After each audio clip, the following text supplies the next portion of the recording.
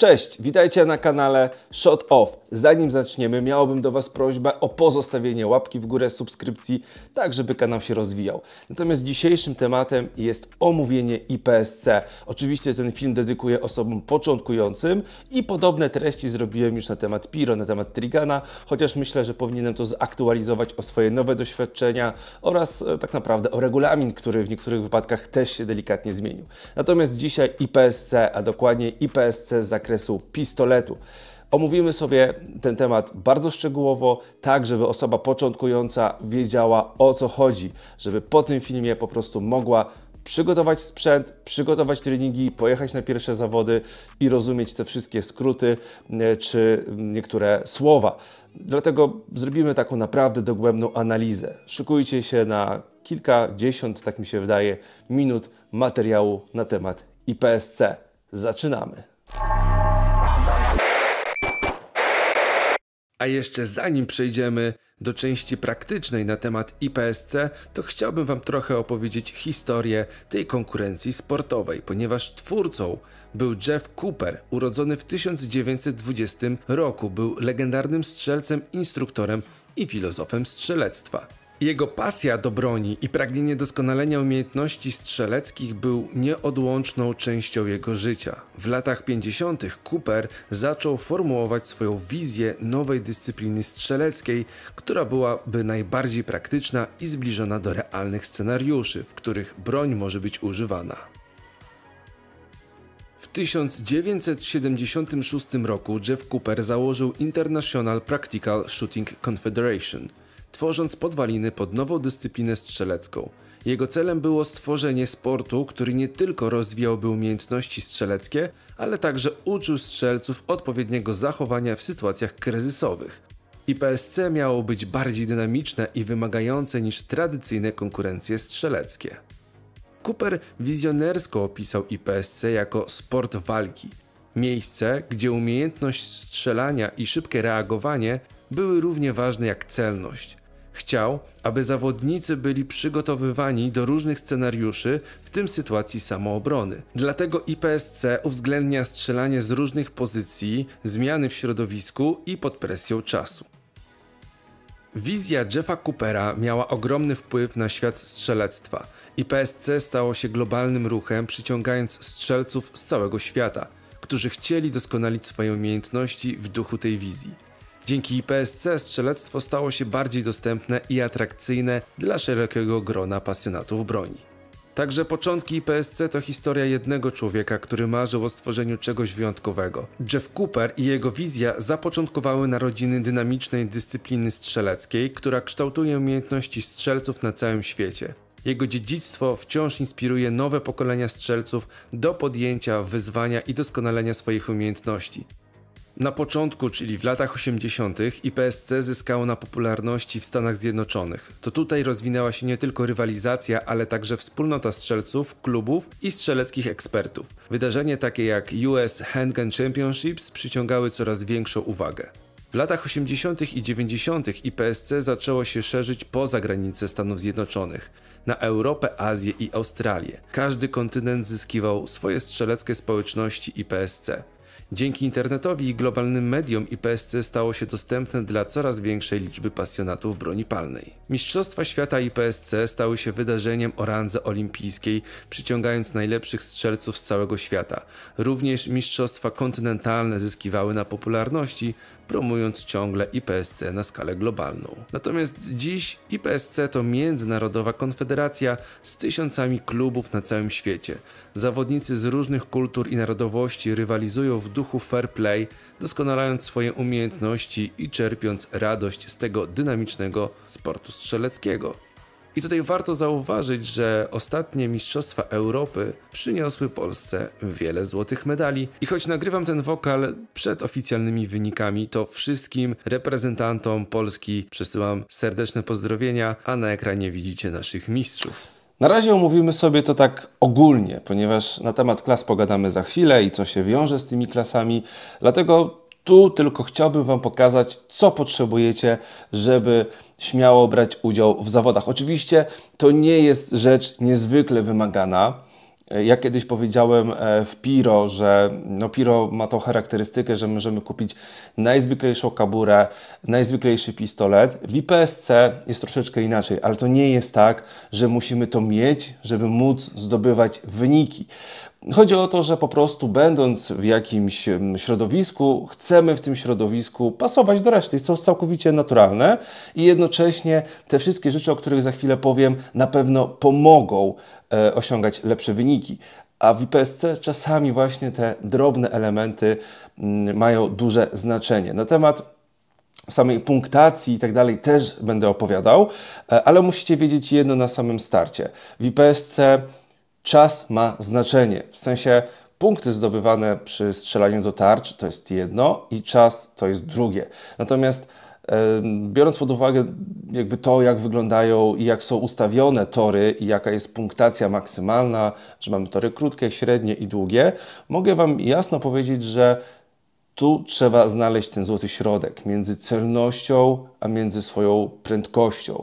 I jeżeli mamy po prostu zestaw narzędzi, zestaw wyposażenia, które nam pomogą zwiększyć czas, no to jesteśmy zawsze do przodu. Hit factor to tak naprawdę jest bardzo prosta kalkulacja, czyli od zdobytych punktów odejmujemy punkty ujemne za kary, misy i tak dalej i tą sumę dzielimy przez przebyty czas. Więc jak widzicie, kiedy mamy tory, gdzie jest dużo biegania, ale powiedzmy stosunkowo mniej tarcz i te czasy są dłuższe, e, a punktów jest mniej, to w tej sytuacji po prostu bardziej nam się opłaca szybciej pokonywać tor, no bo tutaj ten czas ma duże znaczenie. Zresztą, no to jest taka charakterystyka, że jeżeli pokonujemy tor szybko, ale zrobimy kilka błędów, to to będzie zasadniczo bardziej wybaczalne niż na odwrót, czyli dużo punktów i bardzo wolny czas. Dlatego też wszystkie rzeczy, które nam przyspieszą proces pokonywania torów, strzelania itd., tak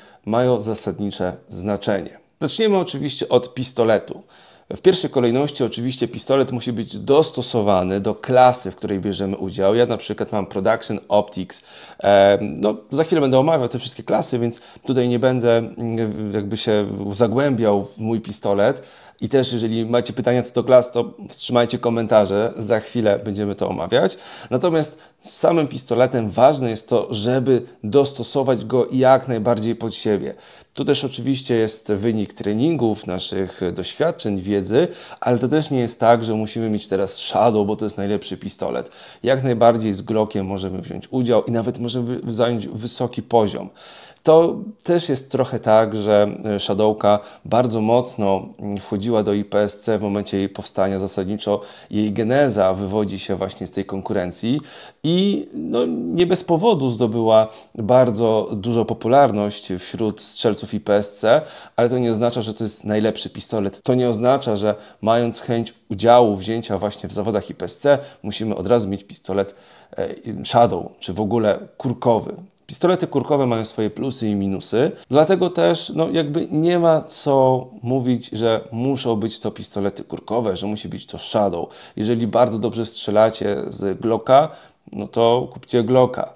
Y, zresztą to, nie jest wymagane, żeby rozpocząć swoją przygodę, żeby zobaczyć, czy chcemy strzelać w IPSC. Teraz na salony wchodzą pistolety bezkurkowe, które się stają coraz bardziej rozwiniętymi konstrukcjami i coraz częściej są wybierane przez strzelców IPSC. I to jest całkowicie normalne. Oczywiście to wszystko zależy od klasy, o której za chwilę będziemy opowiadać. Natomiast mm, biorąc pistolet do IPSC, warto zwrócić uwagę na kilka szczegółów. Przede wszystkim chwyt jako, że w niektórych klasach zmiana chwytu e, albo raczej nazwijmy to stippling, jest niemożliwy, więc dobrze jest na samym starcie wybrać pistolet, który właśnie tą tą fakturę będzie miał odpowiednio dobrze przygotowaną, tak żebyśmy potem nie musieli się zastanawiać, czy szukać jakichś rozwiązań e, z kompromisem. Druga sprawa jest taka, żeby ten pistolet w ogóle nam pasował, żebyśmy się z nim dobrze czuli, żeby te strzelanie było szybkie, więc ten spust w minimalnym stopniu ma znaczenie. Jeżeli będziemy mieli krótki reset, jeżeli ten, jeżeli ten spust w pistolecie będzie pracował bardzo, bardzo przyjemnie, no to wtedy możemy szybciej strzelać, pewniej strzelać, E, troszeczkę inaczej jest niż, niż jak na przykład w Piro.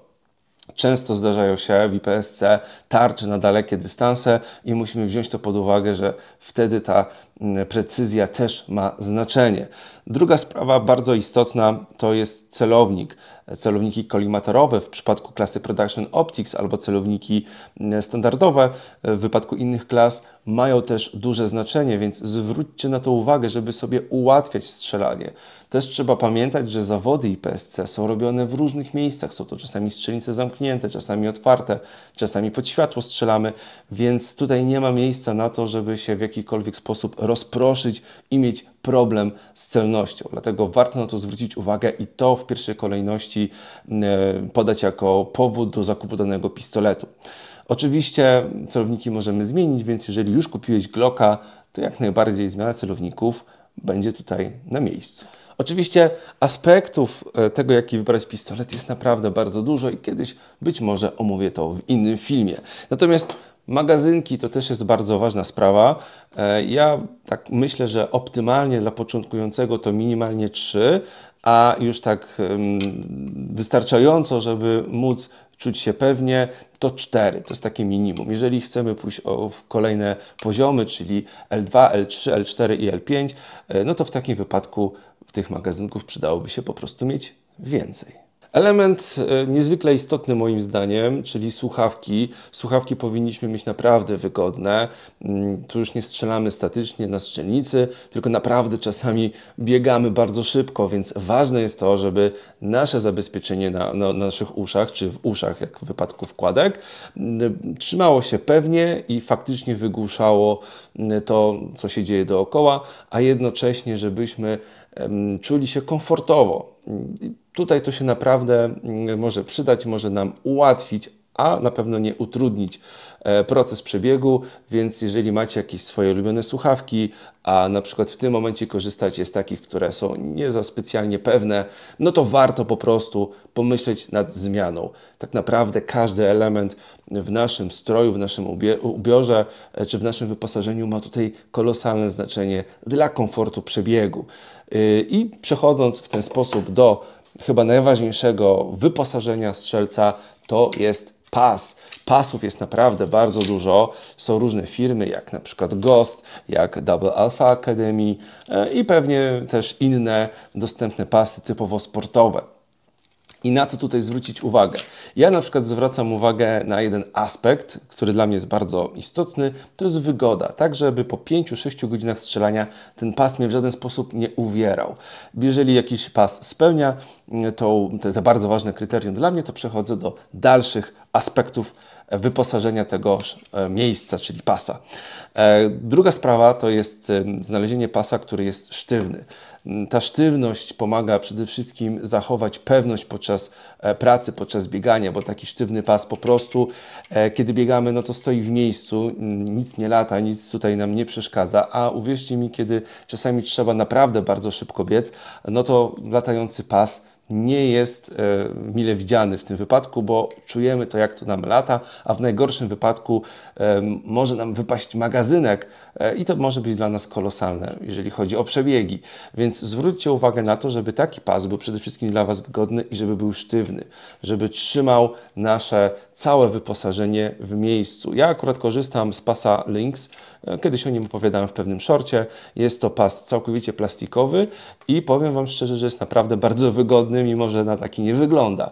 E, trzyma całe wyposażenie bardzo dobrze, e, bardzo pewnie, w ogóle go nie czuję, że mam na sobie jakikolwiek pas, a jednocześnie, nawet jeżeli mam załadowany cały po brzegi, to tutaj nie ma miejsca na, jakie, na jakąkolwiek pracę jakby w takim zakresie, o powiedzmy, że w zakresie e, osi pasa, a to jest naprawdę bardzo istotne.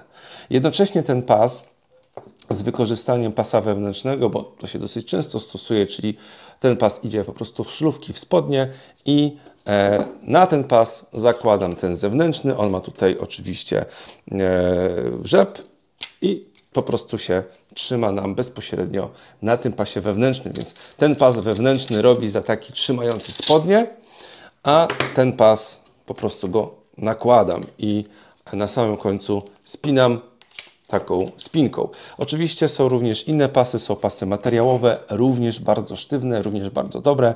Tu już jest kwestia mocno indywidualna. Ładownicę akurat w tym wypadku mam Double Alpha Academy, ale tak jak powiedziałem są również inni producenci. Z reguły są to ładownice sztywne, plastikowe, z różnymi systemami trzymania e, magazynków. Z reguły są to ładownice, które trzymają magazynek właśnie w sposób jakiegoś kontrolowanego docisku. I w wypadku ładownic Double Alpha Academy, tu mamy taką mm, sprężynę, a zasadniczo blaszkę sprężynującą, która jest dociskana mm, takim mm, ruchomo, ruch, taką ruchomą śrubą, tak? czyli im bardziej będziemy dokręcać, tym ta blaszka będzie dociskać plastik, a ten plastik będzie nam dociskać magazynek. W ten sposób możemy regulować bardzo precyzyjnie to, jak łatwo bądź jak trudno nam ten magazynek wyciągnąć z ładownicy. To nie jest aż tak istotne, w sensie fajnie jak ten feature w naszej ładownicy jest, natomiast ja korzystałem z różnych ładownic, między innymi takich bardziej prostych w budowie i równie dobrze jakakolwiek retencja sobie radzi w tym wypadku, więc nie jest to taki must have. Natomiast jeżeli chcecie, mm, to korzystajcie z tego typu rozwiązań. Mi to się podoba. Ja powiem więcej, ta ładownica e, jeszcze jest o tyle fajna, że mm, jest stosunkowo tania jak na ładownice typowo sportowe, a daje pewność. Te ładownice już mam kilka lat e, i tak naprawdę trzymają się bardzo dobrze. Może nie aż tak bardzo były używane przeze mnie w tym czasie, ale mimo wszystko trzymają się bardzo dobrze. Ważnym również aspektem, e, jeżeli chodzi o ładownicę, jest ich możliwość zmiany pozycji, czyli na przykład jaki ma, pod jakim mają być kątem, bądź w wypadku tej ładownicy, która jest na takim zaczepie kulowym, tutaj mam prawie 300, no może nie 360, ale tak z 200 stopni możliwości regulacji w dwóch kierunkach. E, I dzięki temu naprawdę mogę ją bardzo precyzyjnie dostosować do swoich potrzeb i to też jest całkiem fajne rozwiązanie, które Wam serdecznie polecam. Na samym końcu jeszcze Wam pokażę ładownicę z takim systemem e, bardzo wygodnym dla mnie. Jest to system e, QD, system QD od firmy Double Alpha Academy, czyli tutaj te dwie ładownice są zamontowane na stałe. Tak? Tutaj one są generalnie w takim montażu dociskowym z blaszki i śruby, przez co nie ma szans, żeby się w ogóle mogły poruszać. Natomiast tutaj mam jeszcze taki montaż QD, bardzo wygodny dla osób, które strzelają trigana, ponieważ jeżeli chcę ten pas przerobić właśnie na trigan, to odpinam sobie tą ładownicę i tutaj mogę przyczepić ładownicę karabinową. Natomiast jeżeli chcę strzelać IPSC, zdejmuję ładownice karabinowe i z powrotem montuję ładownice pistoletowe. I to moim zdaniem jest bardzo fajne i wygodne rozwiązanie, niekoniecznie drogie, a e, jeżeli chcemy mieć jeden pas, no to opłaca się po prostu w ten sposób kupować, niż budować dwa oddzielne pasy. I pogadajmy jeszcze o kaburze i PSC, y, bo tutaj też to jest bardzo ważny element wyposażenia. Oczywiście kabura powinna spełniać regulamin IPSC i z reguły, jeżeli znajdziemy jakiegoś popularnego producenta produkującego właśnie kabury pod IPSC, to z reguły ta kabura jest w odpowiedni sposób dostosowana. Mm, oczywiście chodzi tutaj o odległości od, od pasa, o wysokość, na którym się znajduje i tak dalej. Natomiast warto zwrócić uwagę na kilka aspektów. Po pierwsze mocowanie, żeby było sztywne. Tutaj mamy akurat mocowanie z blachy, to jest chyba aluminium, i to jest bardzo dobre rozwiązanie. Taka bura po prostu siedzi sztywno, przy bieganiu, przy poruszaniu się nie przeszkadza. Druga ważna sprawa to jest to, żeby można było tą kaburę przesuwać e, i ustawiać kąt, bądź też i wysokość, w zależności od naszego pistoletu. I z reguły standardowo takie kabury to spełniają jak najbardziej.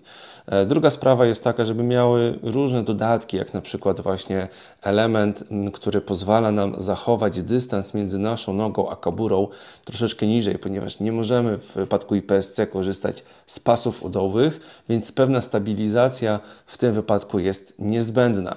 E, oczywiście są różne typy kabur, są kydeksowe, są tak zwane wieszaki i tutaj opinie pewnie są różne w zależności od użytkownika. Ja na przykład nie lubię korzystać z wieszaków z tego powodu, że wielokrotnie widziałem jak się nie zapinały, zwłaszcza na strzelnicach piaskowych, bo jednak w Polsce jest bardzo duża ilość tych strzelnic piaskowych i mam pewne wątpliwości co do e, tego, czy za każdym razem zadziała. Jak nie zapomnę e, sprawdzić stanu tej, tej ładownicy i tak dalej. Zresztą ja pracuję głównie na kaburach kydeksowych czy kaburach takich wkładanych i wolę te rozwiązanie. Warto również wiedzieć, że w tej konkurencji możemy rywalizować za pomocą karabinów, strzelb, PCC, a ostatnio nawet 22LR w mini rifle. A o co chodzi z tymi klasami? Generalnie mamy kilka klas. Klasa Open, no to chyba nikomu nie trzeba tłumaczyć, ale dla porządku powiem kilka słów. Klasa Open jest y, jedną z najbardziej takich, nazwijmy to, zaawansowanych. Strzelcy w tej klasie używają pistoletów z optyką, mogą mieć tak naprawdę wszelkie różnego rodzaju modyfikacje poprawiające jakość strzelania, jak na przykład kompensatory. Magazynki mogą mieć duże pojemności i tutaj no, nie ma co ukrywać. Zasób naszego portfela bardzo dużo może nam pomóc, a jednocześnie trzeba pamiętać, że stosowanie specjalnej amunicji, która będzie współpracować z naszym pistoletem, żeby ta linia, a zasadniczo bardziej kultura pracy pistoletu była jak najbardziej przyjemna, no to musimy również wiedzieć, jak tą amunicję wyprodukować, tak żeby to po prostu działało. Następną klasą mm, to jest klasa Production, chyba najbardziej popularna ostatnimi czasy i idąca za nią klasa Production Optics. Między tymi klasami jest jedna różnica i jak, jak nazwa wskazuje, klasa Optics, Production Optics pozwala korzystać z celowników kolimatorowych. Natomiast jak nazwa wskazuje również tej klasy, tutaj mamy do czynienia z pistoletami, które mają być dosłownie takie, jak wychodzą z produkcji. Oczywiście dozwolone są delikatne modyfikacje, zmiana koloru itd. Tak I również delikatne modyfikacje w zakresie zespołu spustowego sprężynek. Natomiast, żeby móc wystartować w tej klasie, nasz pistolet musi być wpisany na odpowiednią listę. W tej klasie również nie ma podziału na minor i major. To jest y, od Power Factora, o tym opowiem za chwilę. Natomiast również nie wolno korzystać z pistoletów bez samonapinania, czyli na przykład CZ Shadow jest świetnym pistoletem do klasy Production, Glock jest świetnym pistoletem do klasy Production. Zanim przejdziemy dalej, warto porozmawiać jeszcze o współczynniku mocy, bo w IPSC, jako że jest to taka typowa konkurencja sportowa, postawiono um, nacisk na to, żeby szanse były równe. I wobec tego, że mm, w świecie strzelectwa, zwłaszcza wśród pistoletów, jest wiele różnych czynników, które mogą wpłynąć na, na nasz wynik, e, podzielono i wymuszono trochę na strzelcach do, dostosowanie własnego sprzętu do mm, jednakowych oczekiwań. I mamy coś takiego jak power factor, bo chodzi generalnie o to, żebyśmy sobie nie ułatwili i za bardzo, żeby nasz nabój nie miał zbyt małej energii, na tyle małej, że jeszcze by pracował bezawaryjnie, ale na tyle równocześnie małej, że totalnie strzelanie byłoby dla nas bardzo, bardzo proste. W takim wypadku nasz, e, energia naszego pocisku musi osiągnąć tą minimalną wartość. Natomiast pomyślano również o osobach, które chciałyby strzelać z trochę większego kalibru niż 9 mm i również z tego powodu zastosowano podział na minor i major. E, strzelając w production, tak jak powiedziałem, mamy ten współczynnik standardowy, tak to nazwijmy, e, i wobec tego idzie pewna punktacja. Startując natomiast w klasie standard czy w klasie classic, możemy stosować trochę większą amunicję i wtedy jesteśmy w stanie być w Power Factorze Major, który daje nam taki profit, że uzyskujemy troszeczkę więcej punktów za pole Charlie i za pole Delta. Bo w wypadku mocniejszego kalibru, no utrzymanie tego pistoletu może być troszeczkę trudniejsze. I przechodząc do kolejnej klasy, czyli klasy standard, właśnie możemy zastosować ten aspekt energii naszego pocisku, ale jednocześnie, żeby być w klasie standard, należy zmieścić pistolet do specjalnego pudełka. W tej klasie również możemy korzystać z broni bez samonapinania i jest oczywiście totalny zakaz korzystania z celowników optoelektronicznych. Kolejną klasą to klasa Classic – która jest bardzo podobna do standardu, natomiast żeby móc być w tej klasie, nasz pistolet musi się opierać na konstrukcji 911 i jednocześnie możemy korzystać tylko i wyłącznie z jednorzędowych magazynków.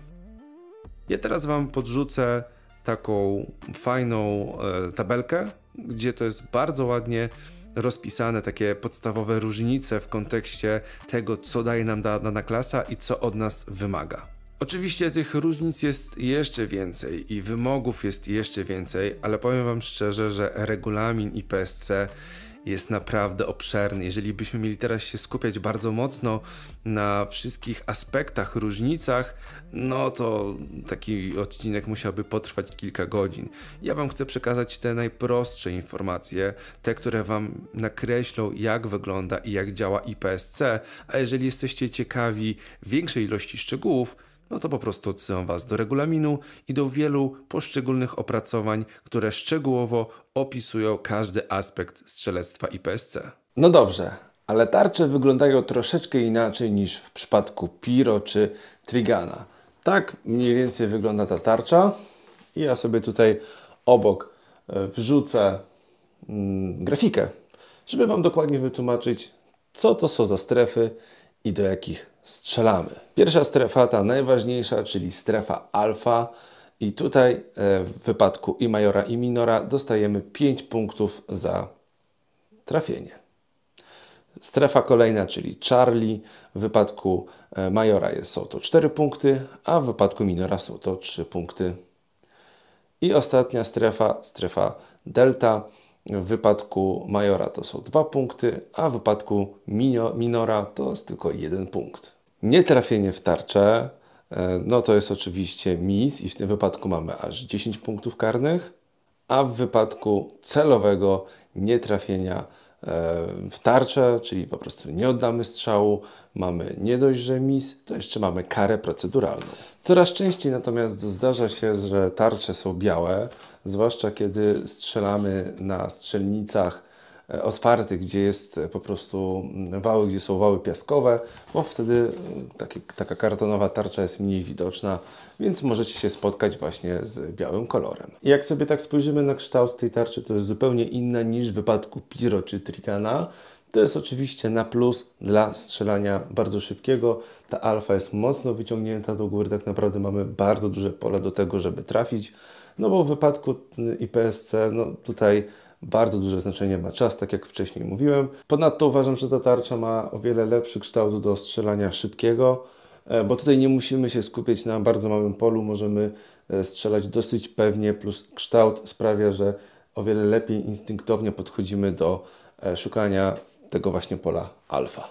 No oczywiście jest to tylko i wyłącznie moje zdanie i pewnie dużo zależy od indywidualnych doświadczeń każdego strzelca. Zawody IPSC mają jasno wytyczone zasady. Oczywiście mamy podział na poziom L1, L2, L3, natomiast żeby wziąć w ogóle udział w zawodach powyżej L1 musimy przejść specjalny test kompetencyjny i być wpisani do regionu. To nie jest trudne, ani nie jest drogie, kilkadziesiąt złotych e, w ciągu roku, a taki test zda każdy, kto zna podstawowe zasady bezpieczeństwa. Natomiast mm, biorąc udział w zawodach musimy się liczyć z kilkoma stałymi fragmentami gry. Przede wszystkim na zawodach IPSC mm, musimy liczyć się z tym, że dobrze ułożony tor będzie wymuszał od nas wiele umiejętności i strzeleckich, i fizycznych, ale również planowania i gospodarowania naszą energią, ponieważ czasami trzeba przyspieszyć, czasami coś trzeba sobie ułatwić. No generalnie nasz mm, zakres umiejętności pozwala nam bardzo szybko albo bardzo wolno pokonywać e, tory, przebiegi. I tutaj warto zauważyć, że w momencie, kiedy zaczniemy przygodę z IPSC, wychodząc na przykład z Piro, no to dostaniemy troszeczkę takiego małego szoku, ponieważ w Piro te tory nas trochę prowadzą. Mamy jasno wskazane zadania, które mamy wykonać i troszeczkę ta procedura toru ułatwia proces przygotowania. E, z reguły ten tor jest jakby nazwijmy to jednokierunkowy, nie możemy obiec dookoła czegoś, tylko musimy iść jasno wytyczoną ścieżką. W IPSC jest troszeczkę inaczej, bo w większości wypadków, na których zawodach ja byłem, to było trochę tak, że e, jest pole gry wytyczone liniami błędu i e, sędzia po prostu mówi: To są tarcze, to jest tor, strzelajcie. Tak zaczynacie w tym miejscu albo w dowolnym miejscu, strzelajcie. Czyli nie ma po prostu miejsca, nie ma procedury, która by na nas wymuszała pewne ruchy. Musimy sami opracować plan. Oczywiście, no, często te, te plany są jednakowe u wielu strzelców, ale z mojego doświadczenia, z moich obserwacji wynika, że naprawdę bardzo dobry strzelec ma swój pomysł, który często okazuje się strzałem w dziesiątkę. I tutaj też taka rada ode mnie. Jeżeli będziecie na swoich pierwszych, czy drugich, czy trzecich zawodach i będziecie mieli pomysł na pokonanie toru i ktoś przed wami poda wam jakieś swoje tipy i się okaże, że to jest zupełnie inaczej, na odwrót, to już nie zmieniajcie swojego planu, bo często jest tak, że podczas zmiany planu i podczas już samego przebiegu po prostu wszystko się nam myli. Jeżeli przez kilka minut układaliśmy swój plan, trzymajcie się go do końca, to jest taka moja rada. Tuż przed wystartowaniem każdy ma okazję przejść kilka razy tor w IPSC, możemy udawać, że strzelamy, możemy sobie liczyć, wyciągać ręce. No generalnie mamy czas totalnie bez żadnych ograniczeń. Możemy zapoznać się z torem, mm, mamy w zależności od długości toru, mamy kilka minut na to, żeby e, opracować swój plan. I tak jak to bywa w różnych konkurencjach dynamicznych, tutaj liczy się czas i celność. W PSC jest troszeczkę tak, że musimy znaleźć ten złoty środek między celnością i czasem pokonania. Chodzi o to, że jeżeli będziemy biec bardzo szybko, ale e, no, niecelnie strzelać, no to wcale nie możemy na tym dobrze wyjść i jednocześnie, jeżeli będziemy strzelać wolno, ale bardzo celnie, to też wcale nie oznacza, że zakończymy zawody na wysokim miejscu. Czasami warto poświęcić jedną alfę, czy nawet czasami Charlie, tylko po to, żeby coś przyspieszyć, żeby uzyskać jedną czy dwie sekundy więcej, zwłaszcza na krótkich torach. Ten e, hit factor, czyli ilość punktów sumarycznie e, przez czas, to jest taki, taki współczynnik, który pozwala po prostu prostu to określić, żeby wyrównać szanse, czyli no, mówiąc w skrócie, krótkie tory dają mało punktów, długie tory dają długo, dużo punktów, więc jeżeli coś popsujemy na małym torze, to nie będzie aż tak bolesne, jakbyśmy to popsuli, popsuli na dużym torze. Natomiast chodzi o to, żebyśmy po prostu wiedzieli, na co możemy sobie pozwolić. Jeżeli dany tor ma bardzo mało tarcz, ale wymaga dużego biegania, no to tutaj czas ma zasadnicze znaczenie. Natomiast jeżeli mamy dużo tarcz i nie ruszamy się wcale dużo po torze, czyli ten czas poświęcony na przebiegi pomiędzy punktami e, będzie stosunkowo krótki, no to w takim wypadku trzeba się skupić na celności. Generalnie IPSC wymusza na nas podejście bardzo analityczne i to mi się, powiem szczerze, podoba. E, musimy czasami coś poświęcić, żeby coś inaczej zrobić i dzięki temu możemy uzyskać de facto więcej punktów. Więc tutaj nie tylko umiejętności strzeleckie, nie tylko przygotowanie fizyczne, ale również sama umiejętność pokonywania torów. Na zawodach IPSC wykorzystuje się różnego rodzaju cele. Są to oczywiście cele papierowe, no-shooty, cele metalowe. Dodatkowo jeszcze na samym torze możemy mieć różne formy utrudnienia, jak przeszkody, zasłony, tunele Coopera, pod którymi trzeba przejść. Wykorzystuje się również okna i otwory, a nawet, i to jest bardzo popularne, różnego rodzaju kiwaki, na których montujemy cele papierowe czy metalowe. A czasami nawet wykorzystywane są rekwizyty, chociaż to nie jest za bardzo popularne. Nieodłącznym elementem jest oczywiście opis toru z jego graficznym przedstawieniem, do którego mamy dostęp nawet kilka dni przed samymi zawodami. Czy Piro, czy IPSC? Nie ma na to odpowiedzi. Każda z tych konkurencji ma swoje plusy, minusy, każda niesie zupełnie coś innego, choć zakładam, że bardzo miłego, jeżeli mówimy o doświadczeniu, więc to ty sam musisz zdecydować, gdzie czujesz się lepiej, jaki regulamin ci bardziej odpowiada, czego oczekujesz od strzelania dynamicznego. I to by było na tyle w tym odcinku. Ja Was z tego miejsca serdecznie zachęcam do rozpoczęcia przygody z strzelectwem dynamicznym. Nieważne, czy to jest IPSC, czy to jest Piro, czy to jest Trigan. I możecie przejrzeć sobie strony internetowe ipsc.pl.org, piro.org.pl. No generalnie jest tego naprawdę bardzo dużo tych informacji e, i tego, jak to się rozwija, i tak naprawdę z każdym rokiem strzelców dynamicznych jest coraz więcej i już nawet takie zasadniczo małe konkurencje do tej pory jak Piro zaczynają się rozwijać i tworzą się z tego różnego rodzaju struktury. I cóż, nie pozostaje mi nic innego jak mm, powiedzieć Wam do zobaczenia na najbliższych zawodach. Trzymajcie się, cześć. A, i jeszcze nie zapomnijcie, subskrypcja i łapka w górę. Cześć.